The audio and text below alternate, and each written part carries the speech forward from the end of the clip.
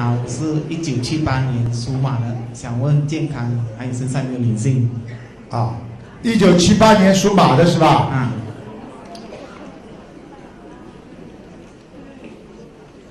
小弟你要注意啊，啊，你现在的肠胃啊，对，经常不舒意啊，不舒服啊。对，嗯，好。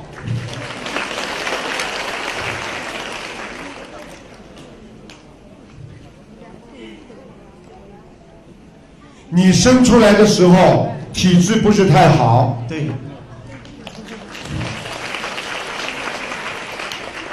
那么你现在呢？我看到你的前途，你的前途不错，小弟你以后有点权利的，但是你有一个很致命的毛病是什么？你知道吗？你气量太小，对，啊，很勇敢，一定要气量大，你听得懂吗？懂你如果以后想做很高的领导了、manager 了或者做老板了，你就必须要气量大。一个人气量一定要大，明白吗？你这个人就是什么小的东西，哦呦，都记在脑子里，都想在心里，不好的，一定要忘记它，明白吗？明白。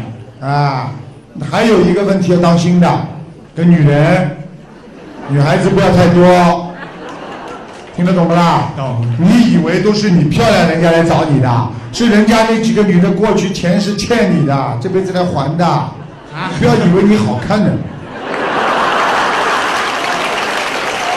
人家冤结的，有冤报冤，有债还债来的，听得懂吗？懂。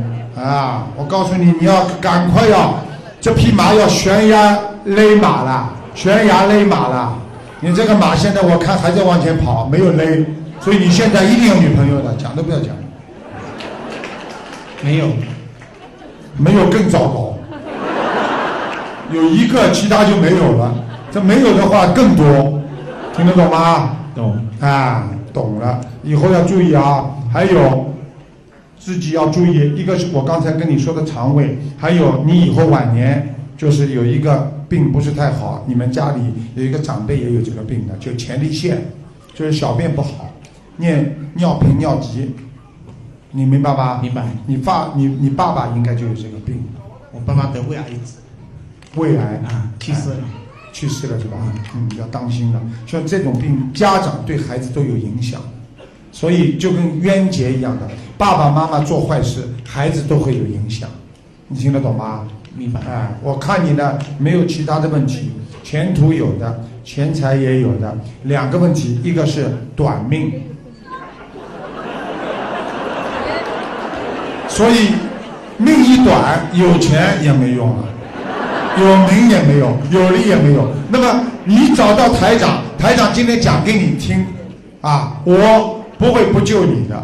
你想长命，你知道用什么方法？你现在先告诉大家。念经。还有呢？烧小房子。小气，看见了，就不知道肯放生。听得懂了吗？懂。嗯，他这种人跟女朋友谈恋爱也是吃麦当劳的。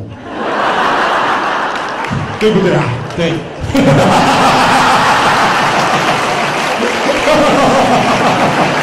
大家开心不开心啊？哎，法喜充满。好了，你还有什么问题啊，小弟啊？没了。还有，告诉你一个问题：以后穿衣服不要穿这种衣服。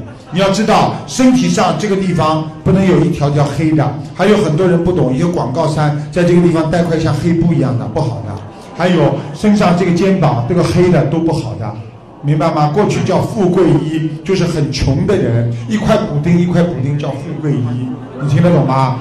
你这种衣服都少穿。你这个人，你其实从小生出来很白的，对对不对啊？对。我告诉你，我现在看你这个就是白的，明白吗？